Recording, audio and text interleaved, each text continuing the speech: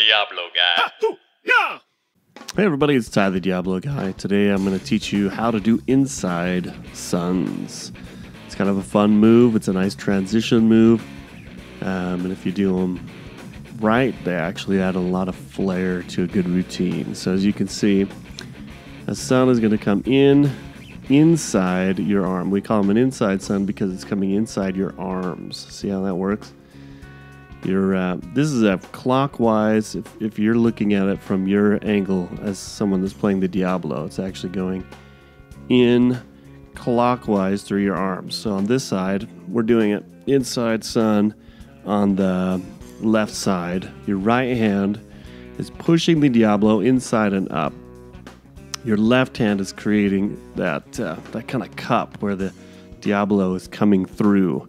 So you push it in and up, and you make sure that it's going in that circular motion. You can give it a little bit of force.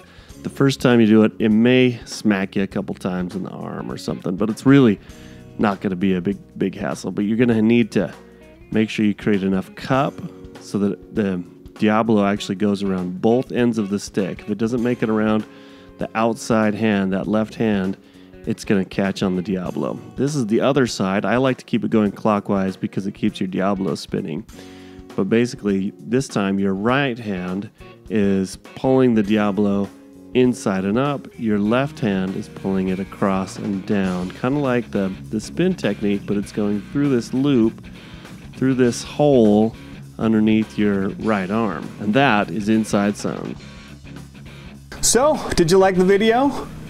Good, because we have a bajillion other videos here on our website ready for you to learn a whole bunch of other tricks. So head there now, down to the website. Ready? Go.